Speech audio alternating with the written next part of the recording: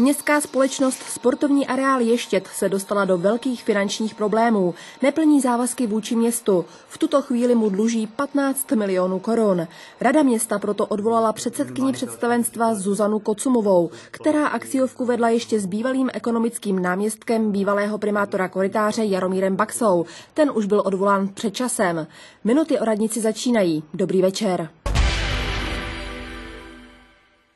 Sportovní areál měla dříve v pronájmu společnost Snowhill. Ta na Ještědu vybudovala tři lanové dráhy a čtyři vleky. Snowhill skončil předloni. Městská společnost převzala dluh kolem čtvrt miliardy korun.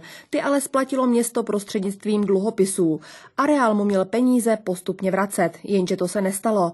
Liberečtí radní proto odvolali z představenstva městské společnosti Sportovní areál Ještět zastupitelku Zuzanu Kocumovou. Bývalá náměstkyně v dubnu odvolaného primátora Jana Koritáře byla předsedkyní vedení představenstva. Důvody jsou zřejmé, nedostatky v hospodaření společnosti a také fakt, že neinformovala, že SAI městu do letošního rozpočtu nepřispěje slíbenou pohledávkou ve výši 15 milionů korun. Tak mi se o tom strašně špatně mluví, protože prostě to hospodaření SAI je špatné. Pokud mám být upřímná, tak já si myslím, že takováto, takováto společnost by měla vydělávat a přinášet zisky a ne, že by vlastně na ní mělo doplácet město. Eh, mám z toho takový pocit, jak jsem četla včera tu zprávu dozorční eh, rady, eh, že management na schvál některé informace zamlčoval a nepře, nepře, nepředložil jak představenstvu, tak vedení města a že jsme nemohli být připraveni na skutečnost, která nastala kdy nám ty peníze v rozpočtu opravdu chybí.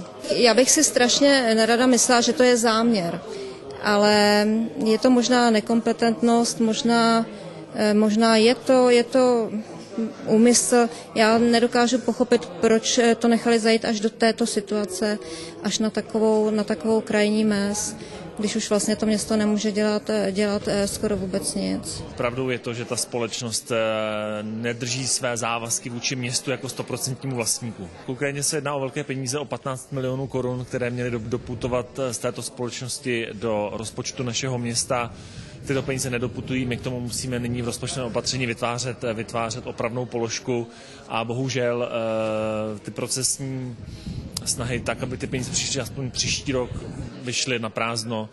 Takže eh, vyměňujeme členku představenstva za, za ekonoma, který by se měl v představenstvu věnovat těmto ekonomickým záležitostem. Opoziční změna pro Liberec, s níž Kocumová jako členka vládnoucí koaliční strany Unie pro sport a zdraví spolupracuje, označila krok města za účelový. Samotná Kocumová se k věci zatím nevyjádřila. Já, když jsem se ptal, eh, jestli bude přítomna na radě města, tak mi bylo řečeno, že má měsíc dovolenou, takže žádná reakce zatím. Kvůli chybějícím 15 milionům se díra už od počátku ve špatně nastaveném rozpočtu pro letošek zase o pěkný kus prohloubila na 73 milionů korun a město hledá další úspory. A kdo to odnese?